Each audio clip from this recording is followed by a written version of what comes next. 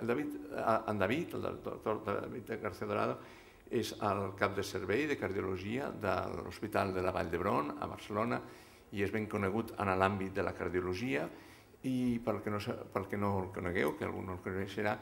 eh, doncs ell és un metge que es va incorporar eh, ja als anys 90 a la Vall d'Hebron portat per la inquietud del doctor Jordi Soler Soler de reforçar la capacitat de recerca del Servei de Cardiologia de la Vall d'Hebron, que feia una excel·lent eh, assistència i una bona recerca clínica, però trobaven a faltar algú que integrés els aspectes més fisiològics i bàsics amb els aspectes directament clínics.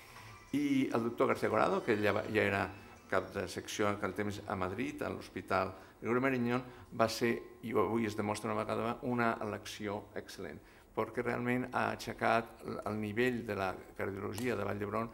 a una de les més altes, no d'Espanya, de Catalunya, del món, eh, perdó, d'Europa, sinó del món. Si jo soy, soc aquí avui és per el treball de moltes persones durant molts anys.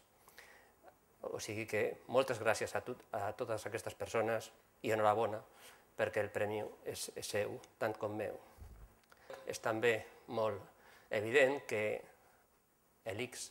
fa molta i molt bona recerca i, per tant, hi ha molts investigadors en una trajectòria excel·lent que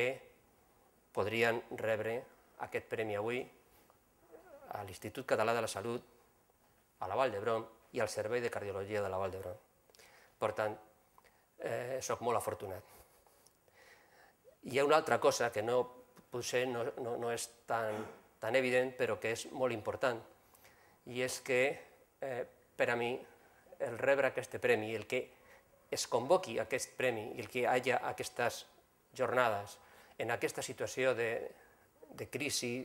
d'incertesa i de dificultat econòmica, eh, té un valor especial, perquè ratifica el compromís de l'ICS en la recerca,